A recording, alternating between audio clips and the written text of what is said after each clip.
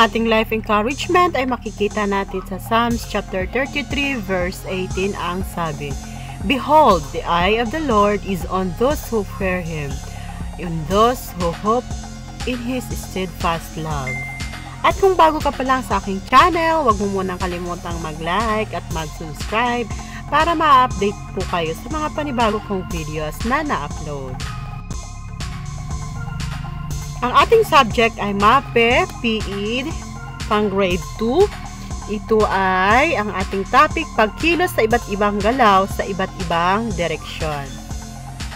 Ito ay second quarter, week 3 to 4. Ang layunin sa araling ito ay pagkatapos ng araling ito, inaasahang maigagalaw mo ang iyong sarili sa mga sumusunod na paraan, lokasyon at direksyon.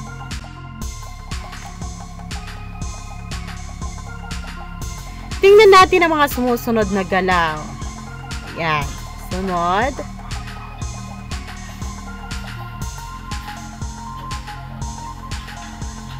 Okay, mapapansin natin na ang mga larawan ay may mag nagmamarcha ng pa, pasulong, patalikod, at pababa. Okay, yan. Isang halimbawa ng mga galaw na ating nakikita o napapansin sa pang-araw-araw na gawain.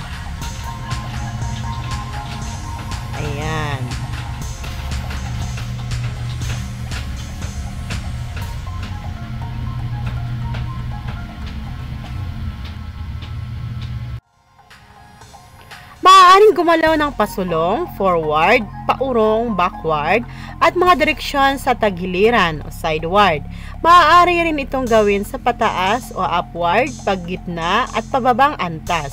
Mayroon ding katulad ng tuwid, paliko at pasigsag na daan, diagonal at horizontal planes.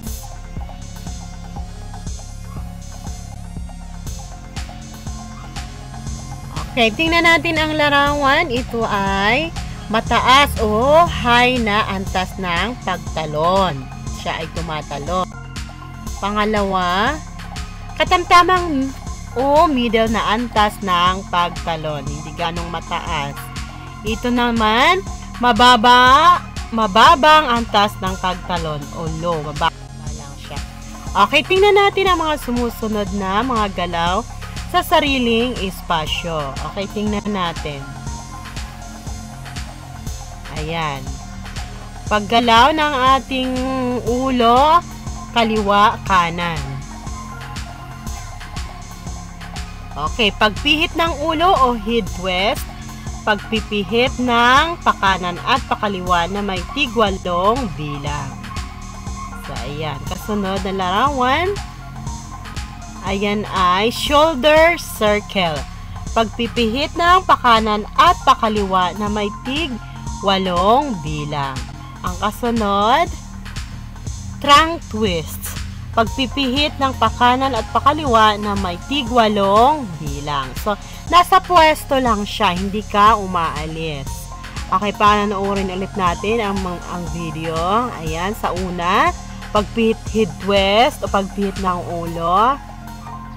Pangalawa, shoulder circle, pag-ikot ng iyong balikat. Pangatlo, trunk twists. Ayan.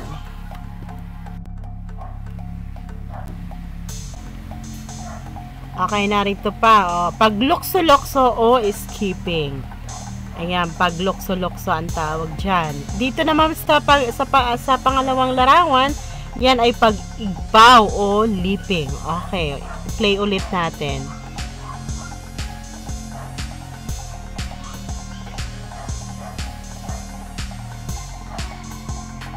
Pag-igpaw o leaping. Yan ang tawag dyan. Dito naman sa kabila, sa una, paglukso, lokso.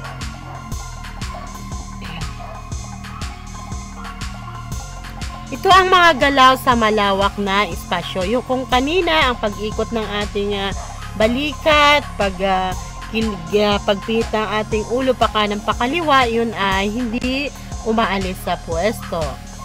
Ito naman mga galaw na masa malawak na espasyo. Malawak na space.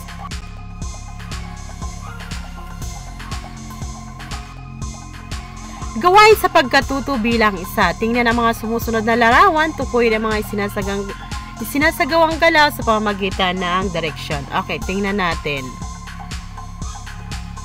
Okay, sa una ay, yan ay pagtakbo pasulong.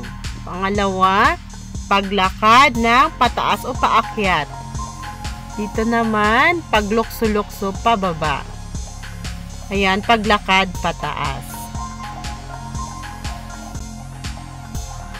Gawain bilang pangalawa, itala mga paggalaw sa sariling espasyo at pangkalahatang espasyo na iyong nagawa sa araw-araw. So magkakaiba ang ating mga galaw dito. Pwedeng uh, uh, dito pag uh, wawalis ng pauwa pasulong. Marami kang pwedeng magawa. Halimbawa, paglalakad ng patagilid, pagtakbo ng patalikod, pag uh, paggalaw yan sa pagtakbo sa sarili sa pwesto mismo. Tatakbo ka na patagilid lang. Ito pag paggalaw naman pangkalahatang espasyo, pag uh, ng malayuan, ng pataas, malayuan. So, ibig sabihin, ma umaalis ka sa pwesto mo. Ito pwede ring masabi natin itong paggalaw sa sariling espasyo, paggalaw sa pangkalahatang espasyo ay kilos locomotor at di locomotor. Ang kilos locomotor ayun siyang umaalis. Ang kilos di locomotor, hindi siya umaalis sa pwesto. So, pwedeng magkakaiba ang mga sagot ninyo dito.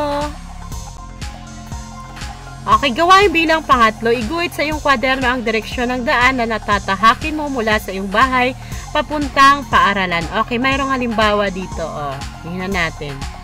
Para siyang mapa mula sa iyong bahay, anong mga daraanan mo, ano yung uh, mga dadaanan mo bago ka makapunta sa bahay, bago ka makapunta sa school. It's, halimbawa lang ito.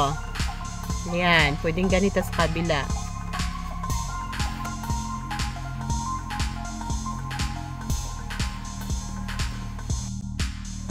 Okay, gawain bilang pang-apat. Gumawa ng mga sumusunod na galaw o kilos ayon sa lokasyon o direksyon. Lagyan ng check kung naisagawa mo ito. Okay, limbawa, pag-igpaw ng pasig pasigsag, pagpit ng ulo pa sideward, patagilid, paglukso-lukso ng padiagonal o pa-slant, shoulder circle na pa-backward, trunk twist na pa-kurba. Lalagyan mo lang ng check kung nagawa mo at kung hindi, eh, kiss. Okay. Okay, ito. Gawain sa pagkatuto bilang Lima, isulat ang katumbas sa salita o kahulugan ng mga galaw sa bawat item. Sa halimbawa, pagpapaikot ng balikat. Ayan, halimbawa, head west. Ayan. So, hahanapin mo lang dito. Hahanapin mo lang dito.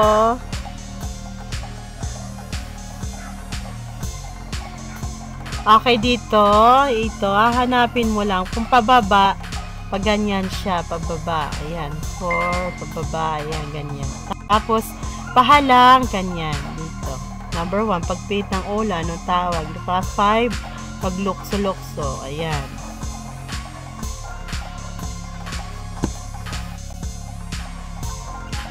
Okay, yan ang ating mga sagot.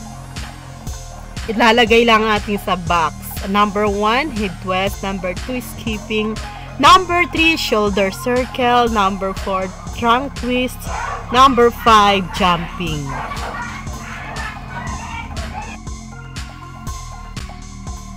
Okay, gawain bilang pagkatuto anim sa tulong na yung mga kasama sa bahay, magpatugtog ng isang awit at magsagawa ng paggalaw sa iyong sariling espasyo. Gawin ang mga galaw o kilos na ito ayon sa mga sumusunod na direksyon. Isulat sa bawat numero ang oo kung naisagawa mo ito at hindi naman kung ito ay hindi mo na isagawa. Halimbawa, forward, backward, sideward, diagonal, horizontal. Halimbawa, kung nagawa mo lahat, limang puntos. Kung apat lang, apat. Kung tatlo, tatlo. Dalawang puntos kung dalawa lang. At saka isa kung isa lamang. Ah, susundan natin ang rubrics. Paano makuha ang score. Okay. Puna ng mga patlang ng mga angkop na salita upang makabuo ng makabuluhang talata tungkol sa aralim. Okay, ang patlang spatial personal space ay ang lugar na ginagalawan o kinakatayuan mo. Ang blank spasyo ay lugar na hindi limitado ang pagkilos o paggalaw. May mga blank ang nanyanais nating patunguhan ng galaw kilos natin. Ito ay maaaring paharap, patalikod at pakanan o pakaliwa. Ano ang mga sagot natin?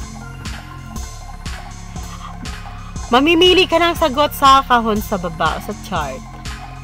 Direksyon, pangkalahatan, sarili. Okay, kung ganyan ang mga sagot mo, napakahusay mo. Congra- congratulations!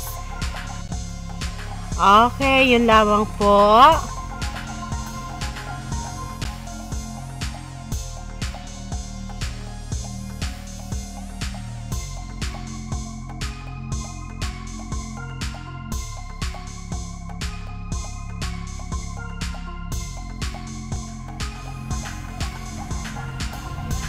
Salamat sa panonood. Ang ating uh, sanggunian ay ang ating 5 foot 4A for grade 2.